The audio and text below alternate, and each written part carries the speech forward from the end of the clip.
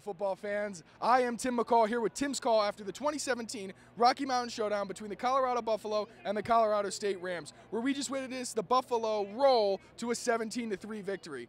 However, if you ask the fans, it wasn't all the Buffalo's fault that they won. The referees actually played a large part in today's game, helping stop the Rams whenever they got momentum. Uh, the real storyline of this game, I mean, the Rams had nine penalties for 105 yards. Although the Buffalo also had eight penalties for 76 yards, it didn't seem like penalties were getting called against the Buffaloes in times when it mattered. However, you can't knock on the Buffaloes. They did play great today, especially senior running back Phillip Lindsay, who carried the ball 19 times for 140 yards and a touchdown. He scored one of the touchdowns on the day. It was a 45 yard rush, and he was simply unstoppable. The Rams defense couldn't wrap him up at all.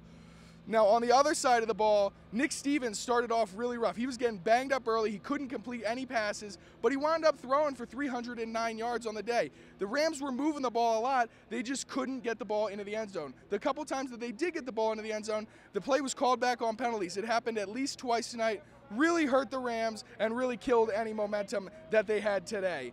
Now, you can't discredit anything that the Buffalo did today. This is the Colorado Rams offense that going into last season, uh, if you count the games from then, they had scored over 50 points in three straight contests. Today, the Colorado Buffalo held them to three points, uh, and that was really the story of the game. The offense for the Buffalo did enough to get by, and the defense really stole the show. It was a win for the Buffalo's defense today as they win the first game of the season. Colorado State Rams one and one moving forward. They have a home matchup against Abilene Christian next Saturday, where they're going to look to rebound before heading to Tuscaloosa for what's going to be a really tough matchup against Alabama.